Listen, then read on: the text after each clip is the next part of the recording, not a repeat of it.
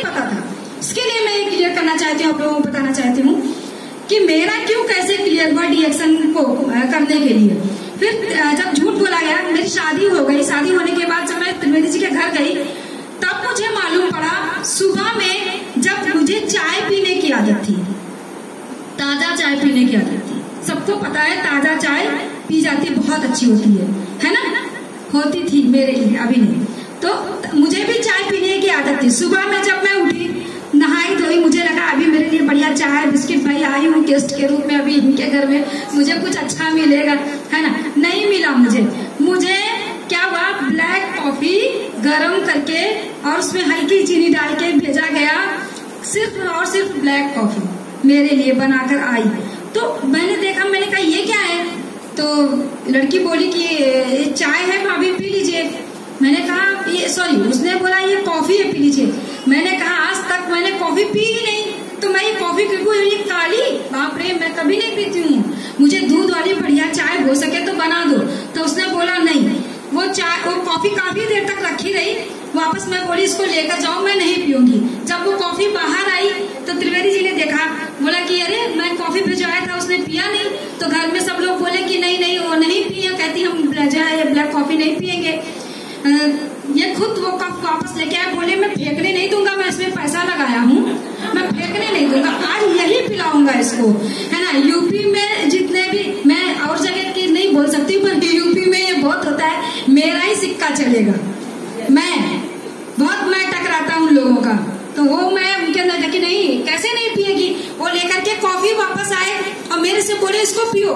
मैंने कहा, मैं नहीं पीऊँगी। ये बोले, पियो। मैंने कहा मैं नहीं पीऊ मैं कभी आज तक काली मैं कॉफ़ी भी मैंने कहा ना मैं काली चाय पीऊ ना काली कॉफ़ी पीऊ और मैं इसको नहीं पीऊँगी आप इसको लेकर के जाओ। ये बोले, मैं इसमें पैसा लगाया हूँ, ये बहुत महँगी आती है। तो मैंने कहा, बहुत महँगी आती है? आप क्यों लाए थे? आप ताज़ा चाय लेके आते, आपको कॉफ़ी लाने की ज़रूरत क्या थी? अभी तक मुझे नहीं पता है कि बंदा करता क्या है। अभी तक तो मैं यही है, सरकारी जॉब है। मेरे दिमाग में यही है कि सरकारी जॉब है। तो मैंने कहा, मैं ये सब नहीं पीती हूँ ऐसा करो, आप इसको लेके जाओ। ये नहीं माने, मगर मैं भी जिद्दी थी। मैं जिद्दी थी। क्यों थी? क्योंकि मैं बहुत छोटी फैमिली में थी, है ना? मैं मेरे माँ बाप के साथ अकेले रहती थी। हम तीन ही भाई बहन थे। तो मेरे भैया और दीदी मेरे ताऊ जी के साथ में रहते थे। उनकी बहुत सारी प्रॉपर्टी थी। ताऊ जी के कोई बच्चा नहीं था। तो मैं मेरे माँ बाप के साथ अकेली रही। तो बहुत लाड प्यार में रही। कभी मेरे ऊपर कोई प्रेशर नहीं रहा। मैं सिर्फ़ पढ़ाई करती थी। मेरा काम था सुबह बैग लेके स्कूल जाना, फिर कॉलेज जाना और फिर मैं यूनिसेफ में पढ़ाती थी तो मेरा स्कूल कॉलेज के बाद में टाइम स्कूल में जाता था। बाकी मैं घर के काम काज में मेरा मन भी नहीं लगता था मैं करती भी नहीं थी। क्योंकि मेरे दिमाग में सिर्फ़ एक ही चीज़ थी कि मुझे अपने ज़िले की सबसे बड़ी वकील बनना है।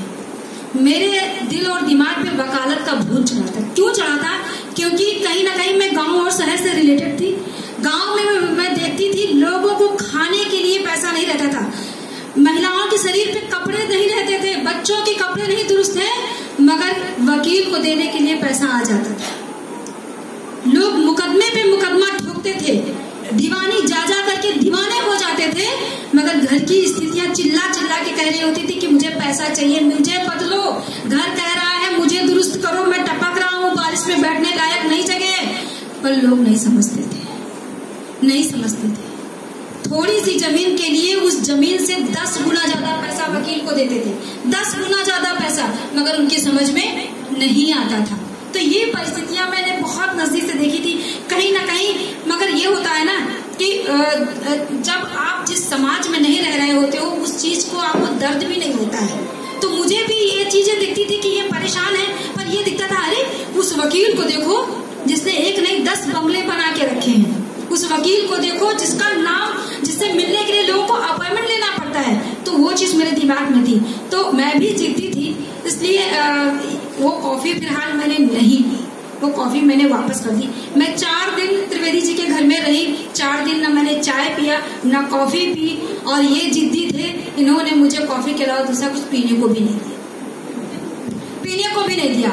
मगर वहीं मुझे पता चला, वो डब्बे में जब देखी किचन में जाकर के तो मैंने कहा, ये सब क्या है? तभी मुझे पता चला, वहाँ पे मेरी सास ने बताया, ये भैया यही तो काम करते हैं। तो मैंने कहा, ये काम क्या होता है?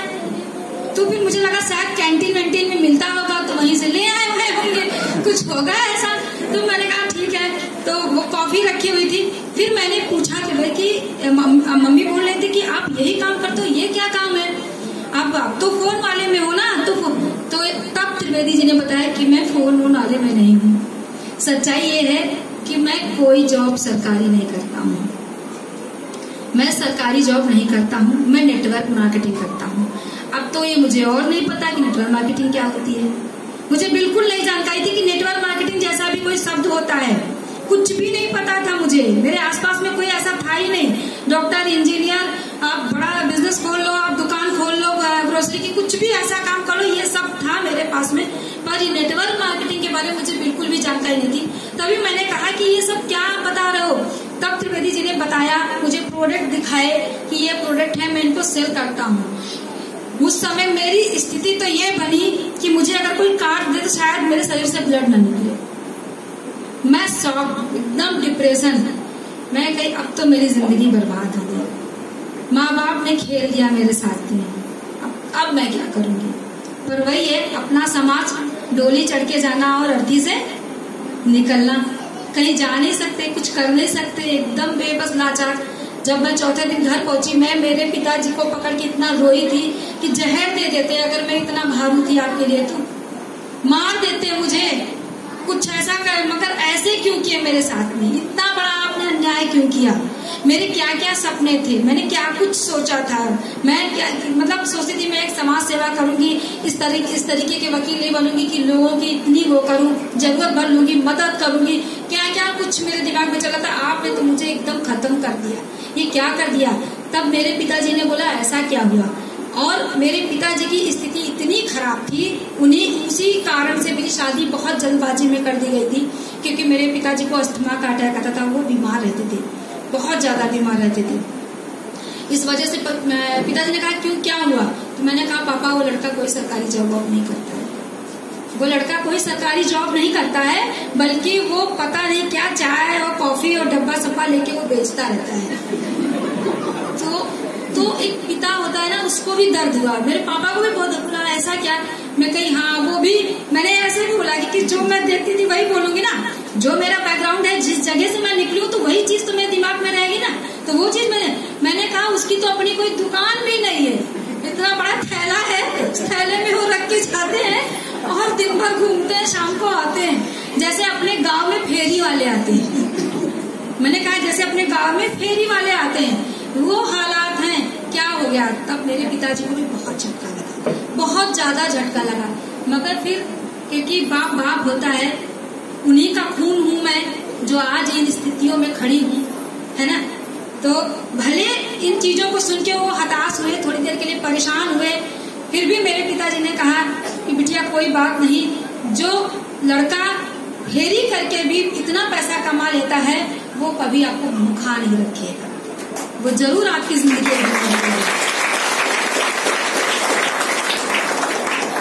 तो फ़िलहाल पिताजी ने मुझे ये सांत्वना दिलाई, कहीं ना कहीं मुझे थोड़ा सा ढांढस बंधाया, मगर होता नहीं है कि अपने को नहीं समझ में आता है। मुझे नहीं समझ में आ रहा था, पर क्या कुछ कर भी नहीं सकती थी। हाथ पैर मेरे कटे हुए थे। मैंने कहा, ठीक है। मुझे एक चीज़ की थोड़ा सा खुशी थी कि पढ़ाई कर रही हूँ, ग्रेजुएशन कंप्लीट हो जाएगा, मैं यही रहूँगी, मैं यहाँ से जाऊँगी नहीं। और मैं यूनिसेफ में पढ़ा रही थी, मुझे पाँच हज़ार रुपये महीने का मिल रहा था यूनिसेफ से। तो वहाँ पे मेरी सरकारी जॉब होने के पूरे चांस थे। यूनिसेफ से भी सरकारी होती है जॉब तो मेरा अपना तो लग रहा था कि ठीक है, इनका जो है, जाए अपना। शादी हो गई, कोई दिक्कत नहीं, मैं मुंबई कभी जाने वाली नहीं हूँ, मैं इधर ही रहूँगी। यहीं से मैं अपना सेटल करूँगी, अपना जीवन बना लूँगी तो मैं एकदम शांत थी। फिर क्या हुआ? तीन महीने भी नहीं बीते, ये मुझे जॉब से छुड़वा दिए। बोले, मुझे जॉब पसंद नहीं है। तुम जॉब नहीं करोगी। सिर्फ़ तीन महीने शादी के हुए थे। फरवरी में शादी हुई है और मई में मैं मुंबई आ गई थी। ये मुझे मुंबई लेकर के आ गए। जब मैं मुंबई आई तो मैं कुलाबा एरिया में रही, वो छोटे से रूप में मैं निकलती रही थी, खिड़की से खाली ऐसे झांकती थी। मैं रोती थी, रात दिन मुझे कौन से शहर में लाके छोड़ दी क्या है, यहाँ क्या ज़िंदगी है? मैं परेशान। मैं सही से बात भी नहीं करती थी इनसे, क्योंकि मुझे पसंद नहीं आ रहा था, ना यहाँ का माहौल पसंद आ रहा था, ना इनकी बात पसंद आ रही थी, कुछ भी नहीं। तब त्रिवेदी जी मुझे बहुत समझाते भी थे, परेशान मत हो, बहुत अच्छा होगा, ये होगा। मैंने कहा, तुम मुझे पहले अपना रुपया दिखाओ, तुम कमाते क्या हो? कितना कमाते हो? मुझे तुम्हारी इनकम देखनी है। डायमंड हो चुके थे त्रिवेदी जी। और ये मुझे एटीएम में लेकर के गए एटीएम मशीन में पैसे निकाल के दिखाए तो इनका चेक उस समय पचपन हज़ार रुपये आया पचपन हज़ार रूपए की जब मैंने देखी इनकम की ये इनकी मंथली इनकम है, मन को थोड़ा शांति हुई, जाने तो मुझे क्या करने का, पचपन मिल, मैं अपना खाऊँगी, पीऊँगी, अपना रहूँगी। ये जाने इनका काम जाने, मुझे कौन सा डिब्बा बेचने जाने का है? है ना? पर ये नहीं पता था, एक दिन ये व्यक्ति दिमाग से चल रहा है, मुझे भी पता देगा ऐसा दिमाग ऐसा नहीं था मुझे कि मैं इनको चेंज कर ले जाऊँगी, ये उल्टा मुझे ही चेंज कर देंगे। ऐसा कुछ भी नहीं था दिमाग फिर क्या हुआ कि ये धीरे धीरे करके मुझे बोले कि मैंने कहा, अभी मैं कब तक यहाँ रहूँगी? मैं यहाँ छह महीने रह के फिर वापस यूपी चली गई और मैंने कहा, अब मैं दोबारा मुंबई नहीं जाऊँगी। मैं दोबारा, मुझे शहर पसंद नहीं है, मुझे बहुत कंजेस्टेड है, वहाँ पे खुला खुला सा नहीं है तो मैं यहाँ रहूँगी। फिर नहीं रुकने दिए ये। बोले, नहीं, आपको रहना नहीं है। फिर मेरा बेटा बड़ा वाला हुआ, डिलीवरी वहीं हुई, लखनऊ में। उसके बाद में फिर पाँच महीने बीते तो ये हर महीने जाते, आते आते मैंने कहा, आप जितना कमाओगे उतना रेलवे वालों को दे डालोगे। चलो भाई, मैं ही चलती फिर मैं वापस आई मुंबई। तब मैंने नेरुल में फ्लैट लिया और मैं नेरुल में रहने लगी। नेरुल मुझे बहुत पसंद था। कल मैं गई तो बहुत अच्छा लगा मुझे। मैं सोच रही थी, काश मैं नेरुल में ही रह जाती तो अच्छा था। बहुत बढ़िया, मुझे बहुत अच्छी जगह लगी वो। नेरुल में मैं रही कुछ महीने। यहाँ पे आने के बाद में दोबारा त्रिवेदी जी ने मुझे बस डीएक्शन के लिए ही किया। मगर वाक्य मेरा क्यों वहाँ पे चेंज हुआ? जब मैं यहाँ पे रह रही थी, मेरे शादी के करीब पाँच छह महीने बाद, अचानक मेरे पिताजी की तबीयत फिर से बहुत ज़्यादा खराब हुई और इतनी ज़्यादा उनकी तबीयत खराब हुई कि वो बिल्कुल एकदम डॉक्टर बोले कि अब इनको लेकर के जाओ, ये बचेंगे नहीं। छह महीने हो चुके थे और फिर भी मेरी शादी को साल नहीं पूरा हुआ था। मैं बहुत परेशान हो थी कि अगर पिताजी को कुछ हो गया तो लोग बोलेंगे, साल भर भी शादी का नहीं हुआ है और लड़की आप सबने हुई शादी, इनकी अच्छी नहीं निकली। यही डर मुझे सताता रहता था। माँ बाप क्योंकि सब कुछ होते हैं, पूरी दुनिया होती है। मैं अपने माँ बाप के बहुत नज़दीक थी इसलिए मुझे जैसे ही मैं सुनी, मैं यहाँ से भाग के गई कि डॉक्टर बोले, पंद्रह दिन के बाद मतलब पंद्रह बीस दिन बचे हैं, इनके पास ज़्यादा समय नहीं है और जिसको अस्थमा का अटैक आता है ईश्वर न करे किसी के घर में किसी को कोई बीमारी आए, मैं तो बोलती हूँ। पर उस जिसको अस्थमा की प्रॉब्लम होती है, इतना खतरनाक होता है कि वो व्यक्ति न लेट लेट तो सकता ही नहीं है, सिर्फ़ बैठे रहते थे। दो दो तीन तीन रजाई लगा के उनको बैठाया जाता, फिर भी वो उछलते थे बिस्तर के ऊपर। ऐसा लगता था कि अब सांस उखड़ जाएगी, आँख आँख सब निकल आती थी, ज़ुबान निकल आती थी, पैर हाथ ठंडे हो जाते थे आधे आधे ये स्थिति थी। इतना डर लगता था हम लोग सिर्फ़ बैठे रहते थे, कितनी रातें तो सोए नहीं थे। यहाँ से मैं भाग के गई देखने के लिए और जब पापा की स्थिति देखी तो बहुत अंदर से तकलीफ़ हुआ। मैंने कहा, मम्मी, चलो यहाँ डॉक्टर को दिखाएँ। लखनऊ से सारे डॉक्टर जवाब दिए, बोले, ले जाओ अब ये बचेंगे नहीं। जी वो सेवा पानी आप लोग कर लो। ये भी साथ में गए थे। ये क्या किए? मम्मी को पाते अकेले में तो मम्मी से बोलते कि, मम्मी, आप आजी जेल खिलाओ ना। आप कॉफ़ी पिलाओ ना। तो मैं इनको डांटती, मैं मना करती। जब भी इनको अकेले में पाती थी चुप रहो, कुछ हो जाएगा तो जहाँ पंद्रह दिन में डॉक्टर बोले, तहाँ तुम पंद्रह घंटे में निपटा दोगे। लोग बोलेंगे हाँ मैंने कहा, लोग बोलेंगे कि अच्छा बेटी दमाद आए यहाँ जियाने आए कि मारने आए थे। क्या खिला दिए? क्योंकि जब जिस चीज़ की जानकारी नहीं होती ना तो वो ऐसे ही हम लोग रिएक्ट करते हैं। सही है ना? हमेशा चमत्कार को नमस्कार किया जाता है। जो चीज़ चमत्कार नहीं दिखाती, उसको कोई यकीन नहीं करता है। वही चीज़ मेरे साथ में था मुझे इतना डर लग रहा था और मैंने कोई भी चमत्कार डीएक्शन का देखा नहीं था। मैं डीएक्शन की इनकम खा रही थी, पी रही थी, पहन रही थी, सब कुछ था। छह महीने बीत चुके थे मुझे, त्रिवेदी जी के साथ में। फिर भी मुझे यकीन नहीं था। मैं वहाँ तक अपनी सोच, देखिए, सोच का असर बहुत बड़ा होता है। ये आप लोग भी मानते हो कि जितने भी पुराने लीडर वो सब लोग जानते हैं कि आप जैसी आपकी सोच होगी ना, वैसा ही आपके साथ घटित होगा। तो मैं वहाँ तक सोचती नहीं थी। यहाँ तक मेरा दिमाग रिएक्शन में नहीं जाता था कि ये इसी प्रोडक्ट को बेच करके पैसा लाते हैं और मुझे भरपूर पैसा देते हैं, मैं भरपूर अपना खर्चा करती हूँ। कहाँ से आता है पैसा? कुछ तो पावर है प्रोडक्ट का। कुछ तो सिस्टम अच्छा है इनके पास में। कोई गलत काम तो नहीं कर रहे ना? मगर फिर भी मैं समझना नहीं चाहती थी इस चीज़ को। और मैं थी। नहीं नहीं, मत बताना, पापा, मत खिलाना प्रोडक्ट मत खिलाना। पर मेरी मम्मी नहीं मानी, मुझसे छुपा करके उन्होंने कहा, नहीं बेटा, खिलाती हूँ, शायद पापा को कुछ आराम मिल जाए। डरते डराते मम्मी कॉफ़ी पिलाना चालू की, अर्जी जेल खिलाना चालू की। आपसे बताऊँ कि पंद्रह दिन के बाद में जो सांस उनकी उखड़ती थी, वो थोड़ा कम हुआ। वो घंटे, दो घंटे बैठने के लायक होने लगे। जब इतना असर दिखा ना तो मन को थोड़ा सा मेरी मम्मी भी बोली कि बिटिया, लग रहा है ठीक हो जाएँगे। लग रहा है ठीक हो जा, हो जाएँगे। अंग्रेज़ी दवाइयाँ भी थोड़ी थोड़ी चलती थी साथ में। धीरे धीरे धीरे धीरे करके आपको बताऊँ कि एक महीना में घर पे रही, पापा के जो है उसमें बहुत फ़र्क आया। वो थोड़ा बैठते थे, कुछ कुछ खिलाया, पिलाया जाता था तो खा पी भी लेते थे। घोल बना के उनको आरजीजीएल दिया जाता था, वो भी पी लेते थे। और मैंने जब देखा कि अब कंडीशन ठीक हो रही है तो मैं फिर वापस मुंबई चली आई। और पापा वहीं पे थे। धीरे धीरे जब मैं छह महीने बाद यहाँ से वहाँ गई ना, तब देखा कि वो चलने फिरने लगे बिल्कुल ठीक हो गए थे। बिल्कुल ठीक हो गए थे और जब मैंने मेरे पिताजी को एकदम स्वस्थ, एकदम ठीक देखा, इतना ठीक देखा कि जो व्यक्ति लाठी लेकर के चलने के लायक हो रहे थे, वो बिना लाठी डंडे के खुद से अपनी पेंशन निकालना, खुद से सब जगह जाना, आना, अपना सारा कार्यभार संभालना, वो करने लगे ना तब मेरे मन को एक अजीब सा झटका लगा, एक अजीब सा विश्वास जगा कि ये प्रोडक्ट नहीं ये संजीवनी है। मुझे ज़रूर इनके बारे में बात करना चाहिए। आज मेरे माँ बाप आज मेरे पिताजी मेरे पास इस प्रोडक्ट के कारण है। पता नहीं कितने लोग अपने पिता को खो दिए होंगे इस बीमारी के कारण, है ना, इस प्रॉब्लम की वजह से। तो मुझे इसके बारे में बात करना चाहिए। और मेरा क्यों वहीं पे क्लियर हुआ? तब मैंने मन में ठाना कि अब मैं रिएक्शन के बारे में थोड़ा सा सोचूँगी, थोड़ा सा इसकी तरफ़ मैं प्रभावित हुई और ये चमत्कार देख करके मेरे मन में लगा कि नहीं, अब मैं रिएक्शन करूँगी। अब मैं रिएक्शन और मेरा क्यों वहीं पे क्लियर रिएक्शन मुझे क्यों करना चाहिए?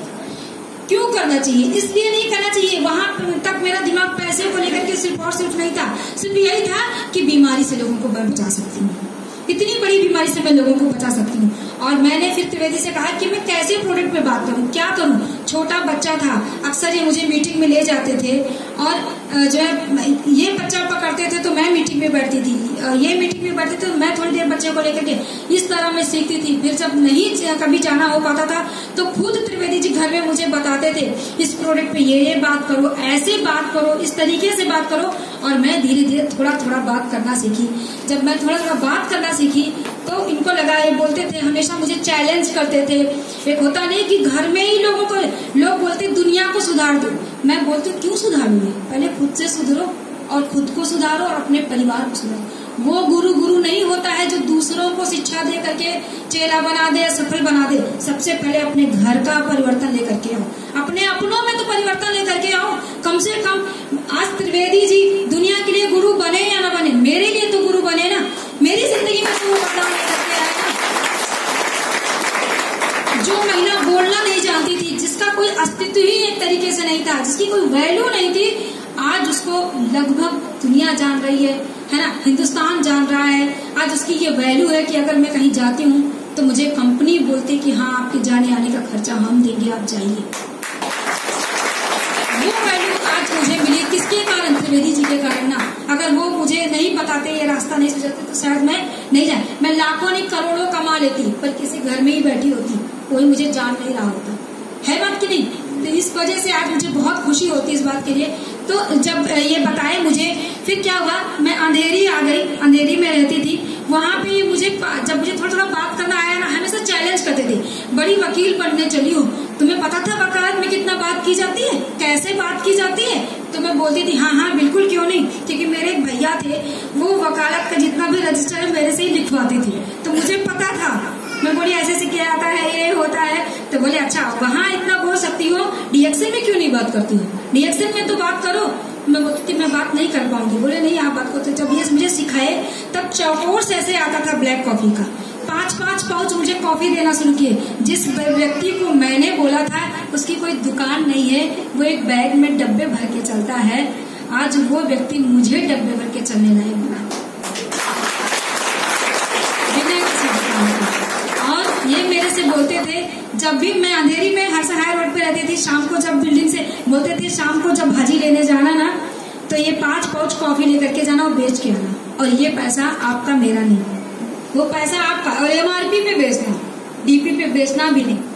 तो मैं एक दिन लेकर गई, कोई नहीं लिया, दो दिन लेके गई, कोई लिया।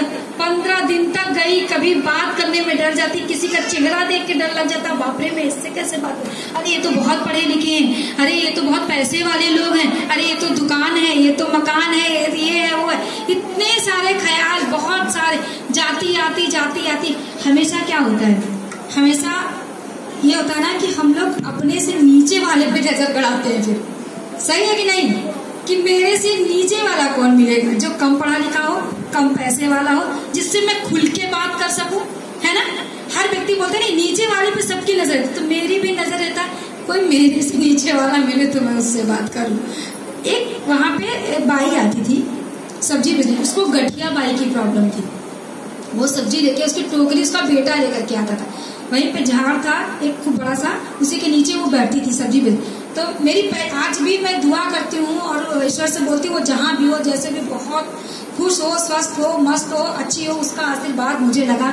आज उस महिला के कारण मैं इस लायक बनी कि मेरा कहीं ना कहीं विश्वास जगा बात करने का। तो मैं हमेशा जाती, उनको मैंने एक बार उसको बोला, मैंने कहा, मौसी, ये कॉफ़ी आप ले लो, इसको पियो, आप ठीक हो जाओगी, आपका जो स्वेलिंग है, जो दर्द है, वो ठीक हो जाएगा। तो वो मुझसे बोली, नहीं मैं नहीं लेती तो सब्ज़ी लेने आई, सब्ज़ी ले और जा। तो मुझे कैसे आकड़ के? बोल दी अच्छा आप नहीं बोलूँगी। ठीक है, मैं एक दिन सब्ज़ी लेके चली आई, दो दिन चली। फिर मैं गई, मैं इनको बोली, मैं रोज जाती हूँ, सबको बोलती हूँ, कोई नहीं लेता। एक जूस वाला था, उसको बोली तो वो भी नहीं लिया। तो ये बोले कि अच्छा तुम बात तो करो। फिर मैं एक दिन गई, मैंने कहा, एक दिन मैंने फिर उसको प्रेशर डाल के बोला। वो परेशान बहुत रहती थी। मैंने कहा, मौसी, एक मेरे पास जड़ी बूटी का पाउडर है। मैं बोली, मौसी, मेरे पास एक जड़ी बूटी का पाउडर है, वो इसमें ही काम करता है, मैं गाँव से लेकर के आई हूँ। अगर ये पाउडर आप पियोगे ना तो आपका स्वेलिंग कम हो जाएगा, आपका हाथ जो थोड़ा टेढ़ा टेढ़ा हो रहा है सीधा हो जाएगा, और दर्द भी नहीं होगा आपको। तो आप पियो ना इसको। तो बोली अच्छा दे, एक पाउच दे। तो वो एक पाउच पंद्रह रुपए का तब आता था। और मैंने उनको एक पाउच दिया। वो मैं कहीं मौसी एक कितने देता हूँ होता नहीं है कि मैं सोच चलो विश्वास तो जाएगी थोड़ा सा कुछ हो मेरे साथ। एक पाउच उसने मेरे से लिया और एक पाउच को उसने दो दिन पिया। और पीने के बाद में जब वो आई उसको क्या अच्छा लगा क्या अच्छा लगा, नहीं लगा मैं नहीं जानती। वो इतना मैंने उसको भी नहीं पूछा खुल के। वो दूसरे दिन सामने से मेरे से बस इतना बोली वो जो जड़ी बूटी का पाउडर है तू लेके आई क्या? तो मेरे अंदर लगा अरे कोई तो बात है, देखो ये सामने से मेरे से मांग रही है। फिर मैंने उनको चार दिया। ये सोचिए, मेरी पहली शुरुआत हुई, एक पाउच, फिर चार पाउच, फिर एक डब्बा, फिर मैं छह महीने रही अंधेरी में, छह महीने वो बराबर प्रोडक्ट लेती थी मेरे से। और सिर्फ़ ब्लैक कॉफ़ी मगर उसी जगह से मेरा विश्वास जगा। और मैं, क्योंकि मुझे ना सुनने की आदत नहीं थी, मुझे बहुत खराब मैं किसी को कुछ बोलूँ और कोई सामने से ना कर दे फिर तो मेरा पारा हाई एकदम दिमाग खराब हो जाता था, कैसे ना किया मुझे। तो ये चीज़ मेरे अंदर था तो मैं इनको बोलती थी, अरे कैसे ना कर दिया। तो ये मुझे हमेशा बोलते थे, अरे, ना सुनने की आदत डालो, मैं नहीं हूँ हर जगह तो सुन लूँगा दूसरे लगता है नहीं सुनेंगे। ठीक है तो ना सुनने की आदत डालो। फिर धीरे धीरे धीरे धीरे उन्होंने मुझे ना सुनने की आदत डाली। और जब मैं बाहर निकलने लगी, मीटिंग में जाने लगी तो लगा कि सबका